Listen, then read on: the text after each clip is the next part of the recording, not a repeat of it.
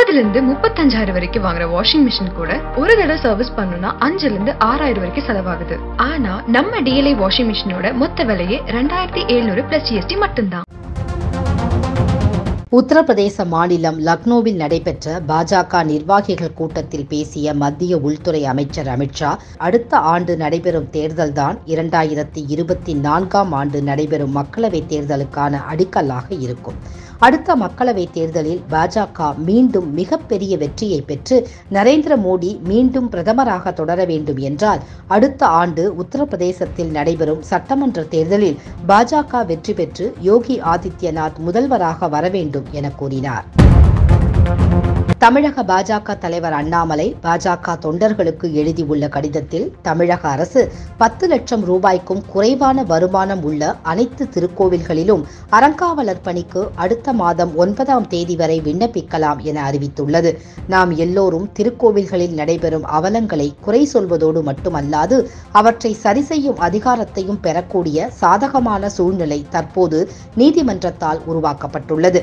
பாஜக மாவட்ட தலைவர்கள் தங்கள் மாவட்ட மாவட்டத்தில் உள்ள பத்து லட்சம் ரூபாய்க்கும் குறைவாக வருமானம் உள்ள திருக்கோவில்களை கண்டறிந்து பட்டியலிட்டு அந்த கோவில்களுக்கு அறங்காவலர்களாக பணியாற்ற தகுதியுள்ள நபர்களை அறங்காவலர் பணிக்கு விண்ணப்பிக்க வலியுறுத்த வேண்டும் என கேட்டுக்கொண்டுள்ளார்.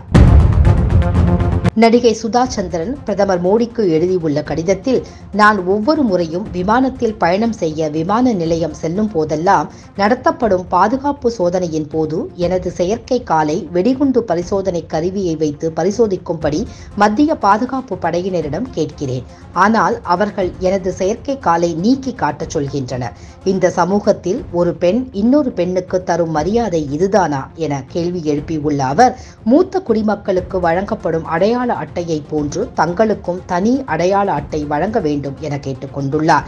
இச்சம்பவத்திற்கு வருத்தம் தெரிவித்துள்ள மத்திய பாதுகாப்பு படை தங்களை பரிசோதனை செய்த பெண் அதிகாரியிடம் உரிய விசாரணை நடத்துவோம் என்றும் மீண்டும் இதுபோன்ற செயல்கள் எந்த ஒரு பயணிக்கும் நடைபெறாத வகையில் பார்த்து கொள்ளுமாறு பாதுகாப்பு படை ஊழியர்களுக்கு அறிவுறுத்துவோம் என்றும் தெரிவித்துள்ளது. மதுரை மாவட்டம் தெப்பக்குளத்தில் உள்ள மருது சகோதரர்களின் சிலைக்கு முதலமைச்சர் ஸ்டாலின் மாலை அணிவித்து மரியாதை செலுத்தினார். தங்கம் தென்னரசு பழனிவேல் தியாகராஜன் அன்பில் மகேஷ் பொய்யாமொழி உள்ளிட்ட பல அரசியல் கட்சித் தலைவர்களும் மரியாதை செலுத்தி வருகின்றனர். போதைப் பொருள் பயன்படுத்திய வழக்கில் கைது செய்யப்பட்ட நடிகர் ஷாருக் கானின் மகன் ஆரியான் கானுக்கு மும்பை உயர்நீதிமன்றம் ஜாமீன் வழங்கியதை அடுத்து இன்று சிறையில் இருந்து விடுவிக்கப்பட்டார். வெள்ளிக்கிழமை தோறும் போதைப் பொருள் தடுப்பு பிரிவு அலுவலகத்தில் ஆஜராகி கையெழுத்திட வேண்டும் பாஸ்போர்ட்டை நீதிமன்றத்தில் ஒப்படைக்க வேண்டும் உள்ளிட்ட சில நிபந்தனைகளுடன் ஆரியான் கானுக்கு ஜாமீன் வழங்கப்பட்டுள்ளது. தென்மேற்கு வங்கக்கடல் மற்றும் இலங்கை கடலோர பகுதிகளில் நீடிக்கும் குறைந்த காற்றழுத்த தாழ்வு பகுதி காரணமாக கன்னியாகுமரி திருநெல்வேலி தூத்துக்குடி ராமநாதபுரம் ஆகிய நான்கு மாவட்டங்களில் இன்றும் நாளையும் மிக கனமழை பெய்ய வாய்ப்புள்ளதாக சென்னை வானிலை ஆய்வு மையம் அறிவித்துள்ளது. புதுக்கோட்டை மயிலாடுதுறை தஞ்சாவூர் திருவாரூர் நாகை கடலூர் விழுப்புரம் காஞ்சிபுரம் செங்கல்பட்டு மதுரை சேலம் ஆகிய பதினோரு மாவட்டங்களில் நாளை கனமழை பெய்ய வாய்ப்புள்ளதாகவும் தெரிவித்துள்ளது. நடந்து முடிந்த உள்ளாட்சி தேர்தலில் தென்காசி மாவட்டம் கடையம் ஒன்றிய குழு தலைவராக செல்லம்மாள் என்பவர் தேர்ந்தெடுக்கப்பட்டார்.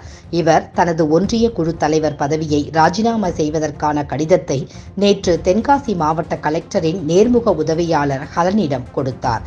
இது தொடர்பாக செல்லம்மாள் வெளியிட்டுள்ள வீடியோவில் தென்காசி திமுக மாவட்ட செயலாளர் சிவபத்மநாபன் ஒரு கோடியே பத்து லட்சம் ரூபாய் கேட்பதால் தனது பதவியை ராஜினாமா செய்ததாக தெரிவித்துள்ளார்.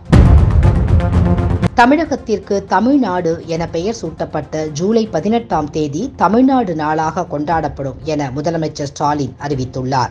இது தொடர்பான அரசாணை விரைவில் வெளியிடப்படும் என தெரிவித்துள்ளார்.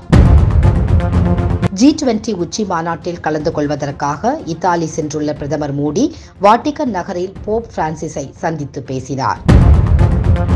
நேற்று தமிழகம் முழுவதும் முப்பத்தி மூன்று அரசு அலுவலகங்களில் லஞ்ச ஒழிப்புத்துறையினர் நடத்திய அதிரடி சோதனையில் கணக்கில் வராத பதினெட்டு லட்சத்து இருபதாயிரம் ரூபாய் ரொக்கப்பணம் பறிமுதல் செய்யப்பட்டுள்ளதாகவும் ஆறு லட்சத்து நாற்பத்தி ஏழாயிரம் ரூபாய் மதிப்பிலான மது பாட்டில்கள் முப்பத்தி ஆறாயிரம் ரூபாய் மதிப்பிலான பட்டாசுகள் மற்றும் ஆவணங்கள் பறிமுதல் செய்யப்பட்டுள்ளதாகவும் தகவல்கள் வெளியாகியுள்ளது.